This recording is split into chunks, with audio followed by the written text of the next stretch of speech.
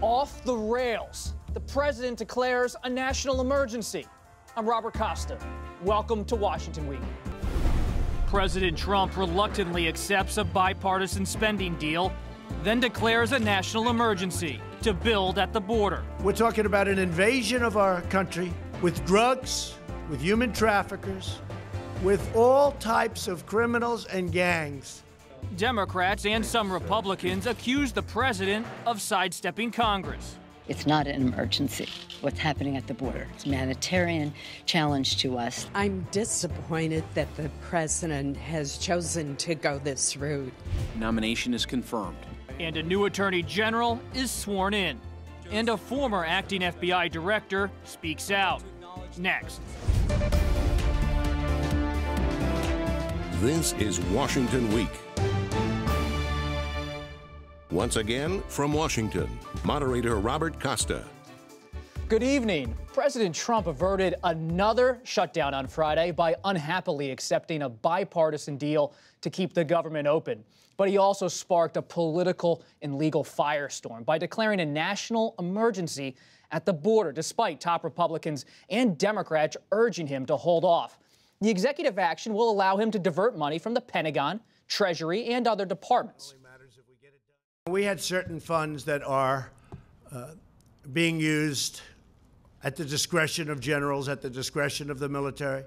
Uh, some of them haven't been allocated yet, and some of the generals think that this is more important.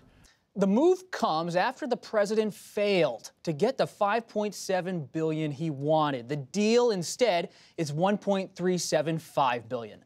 Joining me tonight, Julie Hirschfeld Davis, congressional correspondent for the New York Times, Garrett Haake, Washington correspondent for MSNBC, Abby Phillip, White House correspondent for CNN, and John Bresnahan, Capitol Bureau Chief for Politico. We think about that Rose Garden performance by the president today, Julie. We, we heard the president making the case for a national emergency at the border, a crisis. But is there a crisis at the border? There's no real crisis at the border. There are a lot of challenges at the border. Border crossings, illegal border crossings, are actually down, historically speaking. The number of families showing up, though, rather than single, uh, usually men in the past, has gone up a lot. And that's why there is a humanitarian challenge. You have a lot of people showing up asking for asylum, saying they're fleeing violence and persecution. There's obviously a drug problem. There's, you know, there was just a huge drug bust. There's a lot of drug trafficking problems at the border. And of course, there are human trafficking problems as well, all the things the president talks about. But there is not now uh, a crisis that didn't exist last year or two years ago or even five years before that. There are a lot of challenges at the border, but there's no invasion uh, in the way that the president likes to talk about it. And so uh, he even alluded to this in the Rose Garden today, saying he didn't have to do this right now. Um, he's just doing this so that he can build a wall faster, he says. Um, the fact is that there is no urgent issue that he is trying to address. Let's let's hear what the president said about that. His case today about what Joy just said. I could do the wall over a longer period of time. I didn't need to do this, but I'd rather do it much faster. And I don't have to do it for the election. I've already done a lot of wall for the election, 2020. Abby, does this hurt the president's case if it goes to court as he expects it to go? Well, it's certainly a politically damaging admission that he didn't really have to do this. He uh, decided to do it because he, at least in this part of the press conference, said that it would allow him to build the wall faster, but then he later acknowledged that perhaps court uh, challenges would hold it up. Uh, but I think legally, there are a couple of questions. It could be that the courts might try to weigh this issue of a national emergency. Does it justify uh, what the president is trying to do? Uh, or they could simply look at the issue of the separation separation of powers. The president is taking the power of the purse away from Congress in this particular instance. And he just admitted today that he's doing it just for expediency, perhaps for political expediency. I think that's very problematic for the president. And it's just another example, just like with the travel ban years ago, of the president making public statements that later on become uh, front and center in court cases that undermine his administration's strategy. And if you look at history, the Supreme Court before has looked at presidential executive orders. Harry Truman in 1952, Bill Clinton in 1995, and ruled them invalid. But most national emergencies have stood. But beyond the courts, John, you have a president who's going to be challenged by House Democrats. What are we hearing from Speaker Pelosi, her lieutenants, the committee chairman, about how they're going to go after this national emergency? They're going to move a joint resolution which to uh, turn off the emergency, to, to invalidate it. Uh, and that will happen pretty quickly after they uh, return from recess. They're going to recess for a week. They'll come back. They'll move pretty quickly on it. It's a straight majority vote. They'll get plenty of Democrats to pass it. Um, there may even be some Republicans who vote for it. Justin Amash, uh, who's a noted libertarian slash Republican, he just said he didn't like what Trump did question really becomes the Senate. This is a resolution, it's privileged, is the term. It has to be taken up in the Senate and within 18 calendar days of after it passes the House.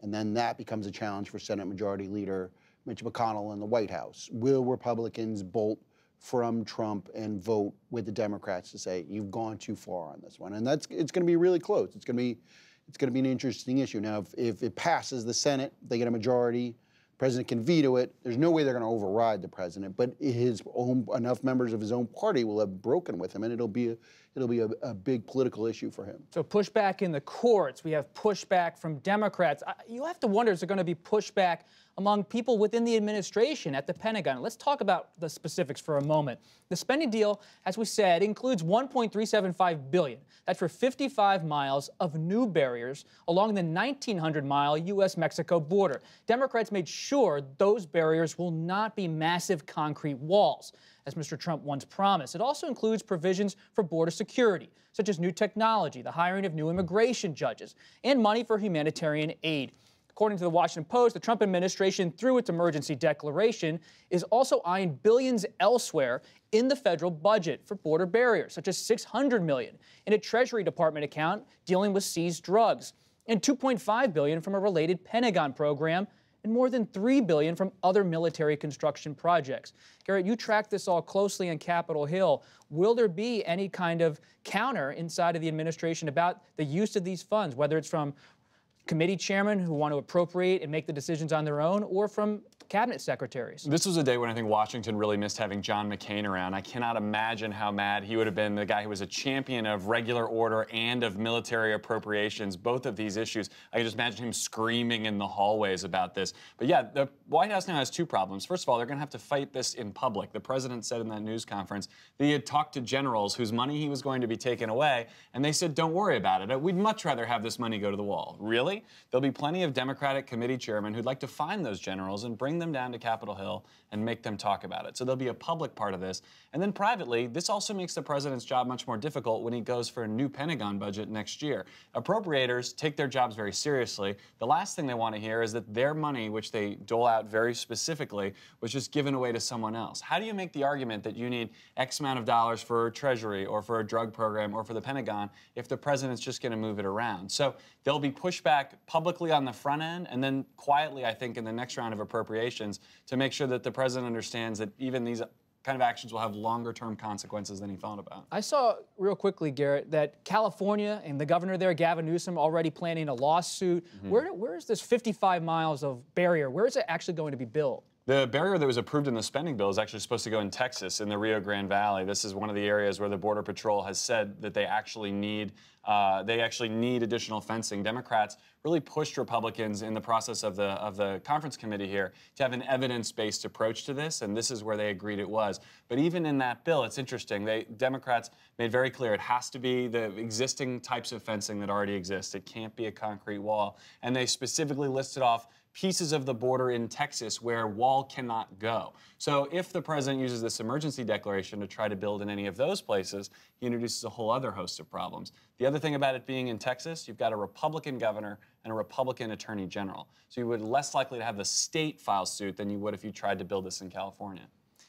You know that T.S. Eliot uh, poem, The Hollow Men? This is the way the world ends, not with a bang, but a whimper. I, you got to think about Leader McConnell making the news this week about how this would all end. And it was this low key statement on the Senate floor. I think we have it, if we can show it to you for a second.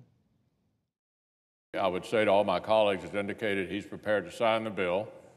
He will also be issuing a national emergency declaration at the same time.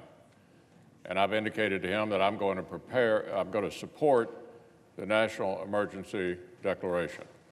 That dry statement from Leader McConnell, so much power in Washington, but little enthusiasm for the way this all played out. What was his role here in coming around in supporting the national emergency, something he detests ideologically? Right. Absolutely zero enthusiasm. And it masked hours of drama, really, when it came to President Trump uh, getting him on board with this bill. I mean, the president, just, even though he is not one for details, decided to dig into this bill around midday uh, uh, on Thursday, and uh, that was just hours before McConnell had expected to have a vote on this. He had to get on the phone with President Trump multiple times. The Washington Post reported, and CNN also reported that the president had told his aides, "I don't want to sign this thing."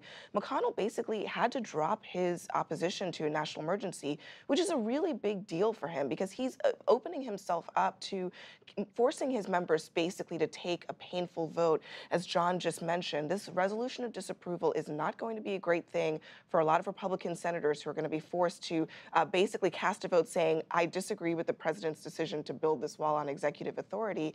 And McConnell had to do that in order to get his signature on this bill. It just goes to show no one wanted to shut down, and no one wanted to shut down more than Mitch McConnell. The other part about this is, uh, was just talking about is, you know, White House Chief of Staff Mick Mulvaney, there was, you know, he was talking to McConnell, he was talking to House Minority Leader Kevin McCarthy. He was calling people on Thursday saying we need a CR, we need to we need to slow this down, we need a couple weeks. You mean a, a, a, bill that wouldn't appropriate across the government, just to keep the government right, open at to avoid a shutdown? And McConnell and McCarthy were like, no, we're doing this now. We got to go now, okay? And then, I mean, the reality here is Trump boxed himself in. He boxed himself in, you know, he, and I've kept saying this, he lost this wall fight, you know, in Congress on Capitol Hill. He lost it on election day, okay? And it's been just a slow motion death, okay? I mean, this, he's lost this for months. He, you know, as everybody's mentioned, he couldn't get it through Congress. Now he did a national emergency. He actually, though, in a way, he got Congress out of this jam. We were been stuck on this for, you know, two and a half months now. And like, you know, the, there was actually some sighs of relief. Yeah, we hate this, but you know, at least we can start talking about something else for a little while. Hearing hearing that from McConnell there again, he, he delivered it so dryly, but he also called the vote. I think 25 minutes later, yeah. it was like well, he got he, off the phone with the president and said, "We're voting right yeah. now right. before anybody has a chance to change." Right, and mind. he had to inter, uh, interrupt another Republican senator to do that, yeah. and the reason he did is because he did not want to give one extra second for Trump to change his mind, which he has repeatedly done in this in this um, back and forth really since 2017, since he first came in. Mean, from that first time that he, you know, threatened to veto that omnibus bill that didn't have money for the border wall, and he, and you know, Republican leaders again had to rush down to the White House and try to talk him out of it. And the fact that he had been so backed into a corner, I think, really put the Hill on edge. That if you know, if they had a yes from him now, they had to strike while the iron was hot. And John mentioned how the White House was almost outside of the process here. You had Appropriations Chairman Richard Shelby in the Senate, Nita Lowey from New York, House Democrat. They cut this deal. They absolutely cut this deal. And the interesting thing there is that in the beginning, when, when Trump was first sworn in, when he first came in, that is how they were doing these appropriations bills. He was essentially you know, keeping it at an arm's length. He wasn't into the details. He didn't really get how it worked. And they were cutting their deals and bringing them to the president. And repeatedly, they did not have money for the border wall. And he swallowed it. And finally, he tried to exert himself. He tried to figure out a way to reclaim this the power in this struggle over money and the wall and he couldn't figure out a way to do it and so in the end he had to give them the power back so they could cut the deal you were down in El Paso, Texas. The president had a political rally there, 2020 reelection campaign. This issue isn't going away because if you looked up at the rafters at that rally, there was a big banner, finish the wall. Is that the new message out of this White House? Is that the message on immigration, and is that the core of the reelect? Absolutely. I mean, it's possible that it matters less to this president whether he does this than whether he can continue to run on it. It was such a good issue for him in 2016. Even if not another foot of wall is built, the 2020 reelection message can be look at how hard I fought for this, and look at these activist courts and these obstructionist Democrats who are getting in the way. Vote for me, and oh, by the way, keep voting for Republicans so we can get this done. He very much wants to continue to make this an issue of any city in the country. El Paso, Texas is actually a pretty democratic city. He's trying so hard to make this point. At this point, it doesn't appear that he's convincing that many people, but in, a, in another presidential election, I think we'll hear this over and over and over again. He also very much needs to run on the wall. If you look, remember back at the midterms, the president pivoted heavily to immigration, to the caravan. Mm -hmm because the economic message wasn't breaking through. It wasn't getting Republican voters out to the polls. He had to pivot strongly, in his view, to these sort of uh, bedrock issues that he ran on in order to try to help the few Republican candidates that he could in places like Florida and elsewhere. And I think he's doing uh, that again with his reelect. You hear the administration talking a lot about wanting to run on the economy, but they're really not running on the economy. Right. They're running on the wall and they're running on immigration. When was the last time you heard anybody talk about the tax cut? But what about the cost? So, so the president's rousing his core voters. The right wing likes that he's fighting for the wall. But what about Republicans on Capitol Hill? When you're up there, John, do they seem exhausted by all of this? The shutdowns, the standoffs, the constant on immigration? Shutdown was a disaster for Republicans. There's no way, way, way around it. It was a disaster for Trump. It was a disaster for the whole party. I think they really kind of, yeah, they, like I said, they hated the emergency, but they're like, thank God this is over, at least for now. Let's let the courts decide this. I think they want to move on. They want to to what? Prescription drugs, well, infrastructure. They, well, I'm in the Senate. They're going to move on to abortion right now because they want to talk about the Virginia abortion bill, and, and that was a disaster. And they want to, you know, and they want to go slam the Green New Deal and Alexandria Ocasio Cortez and uh, all these new Democrats. They want to go paint them as radicals, socialists who are going to, you know. Uh, destroy uh, capitalism, and so they want to, you know, they want to talk about something else. They need to move off this. So, I mean, for now, this gets them out of the box. That's part of the reason you had Lindsey Graham over the last couple of weeks going every time he'd get in front of a television camera saying, Mr. President, if you think this is an emergency, go ahead and declare it, yeah. daring the yeah. president to take this step so they could just move on. There was no will to fight over this, especially among Senate Republicans who wanted to talk about literally anything else over the last few weeks. Right. I mean, the, the, the interesting thing is that, you know, the wall is not a huge priority for pretty much anyone other than President Trump. Certainly not many Republicans in Congress. Sure, if you ask them, are you for it or, you're, or, or are you against it? Most of most Republicans would say they're for it. They think it's part of the solution. But you don't. I mean, there are there are very very few lawmakers on Capitol Hill who see this as the be all end all, even of dealing with immigration and dealing with illegal immigration. They think that there are you know, much more impactful ways of dealing with it. And if they had their druthers to write a bill, the wall wouldn't be anywhere near the top of the priority list. So this is the president's fight, and I think they're they're happy to move off of Especially it. Especially these moderate Republicans I was encountering on the Hill. They want to move on so fast from this shutdown yeah, and the immigration. They want to talk about the tax cut mm-hmm. and other things. But what happened with the shutdown standoff, the a version of another shutdown, wasn't the only story in Washington this week. The big story, another one, another headline, was the confirmation of William Barr to be the 85th Attorney General. Barr assumes leadership of a Justice Department handling multiple criminal investigations that have shadowed President Trump's administration. Barr was confirmed despite concerns from some Democrats about how he planned to oversee special counsel Robert Mueller's probe. We saw some Democrats break away for that Mueller reason. Did they get any clarity during the confirmation process, or is Barr, for many Democrats, John, still a questionable figure? Oh, they don't know what he's going to do on Mueller. I mean, they, I think they're, and only three of them voted for him. Uh, so I think they're hopeful that he, he, here is somebody who has a long history with the Justice Department, was uh, worked with Mueller, uh, has a close relationship with Mueller, so has enormous respect for Mueller, at least expressed it publicly, and the Justice Department. But I think, I mean, you see, I mean, you saw uh, Trump today. He was, you know, talking about Mueller. Our Barr has the, you know, toughest job in Washington. Didn't know? he say to Barr, yeah, "Enjoy your life, yeah, yeah, enjoy your life"? So is which quite is a message from the president. Yeah, good luck to your Attorney General. Um, so I think they're hoping but they didn't get any commitment uh, from Barr that they would release the Mueller report or anything like that. I think they're hoping Barr does the right thing, but there's, you know, they have to see. This is a guy who clearly uh, uh, didn't support how far Mueller has gone. There was the memo that he sent saying, you know, the whole obstruction of justice charge wasn't going anywhere. So, I mean, we'll see what happens. And another big part of Barr is whether he's going to change the culture at the Department of Justice. And this week, we saw part of that culture that's been that clash with President Trump. Former acting FBI Director Andrew McCabe made headlines when he told CBS News that he opened an obstruction probe of the president the day after FBI Director James Comey was fired. McCabe also spoke about alleged discussions inside the FBI about invoking the 25th Amendment to remove the president from office. Does Barr change this acrimonious relationship between DOJ and President Trump?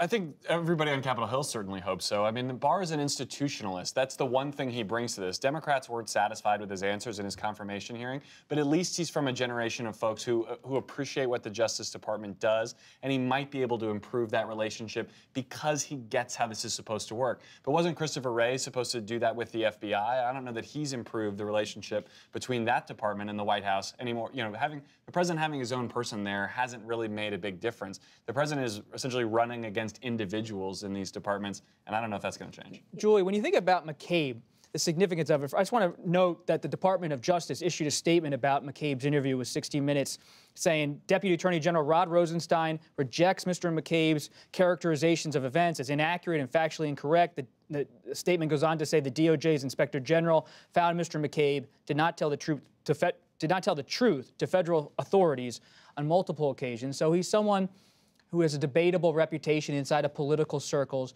What's the significance of him coming out with this book, challenging the president, bringing back that idea of discussions of the 25th Amendment? Well, I think it sort of confirms, uh, again, uh, even though he does have credibility issues, um, just the degree to which the government, the Trump's own government, was uh, fearful about what the new president might do. I mean, he tells this story, and we reported some of it last year. Of course, Rod Rosenstein pushed back when we reported it then as well.